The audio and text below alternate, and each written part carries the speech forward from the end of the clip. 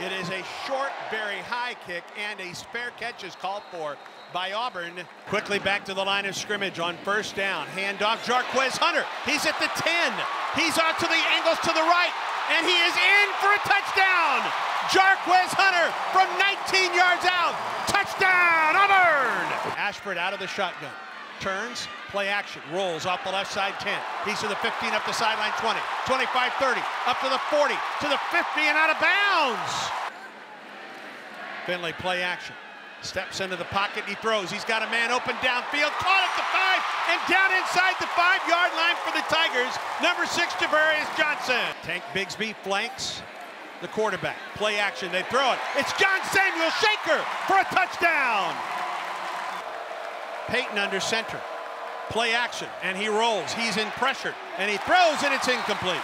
Trying to get it to his tight end, Drake Starks. Terrific pressure by Eku Leota.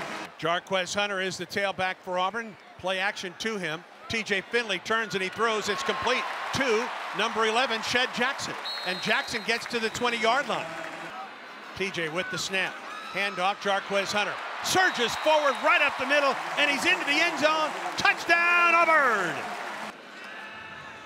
Finley drops, throws. It's complete to Shedrick Jackson. He's at the 10 inside the 10, and he is close to the first down. Looks like he has the first down. Right back to the line of scrimmage. Finley from the gun. The handoff, Tank Bigsby dives into the end zone for a touchdown. Touchdown, Auburn! Tank Bigsby from two yards out. Play action. Ashford wants to throw. He does downfield. Has a man open. He's got it inside the 10 yard line. Ashford under center. Hand off to Jarquez Hunter. He's at the goal line. And he's into the end zone for a touchdown. Touchdown, Auburn! For Jarquez Hunter. Play about to resume. With Shed Jackson going in motion, the handoff to Tank Bigsby puts a foot in the ground at the 40, makes a move at the 40 or uh, 35 30. He's to the 20, he's to the 10, he's to the 5, he's gone! Tank Bigsby!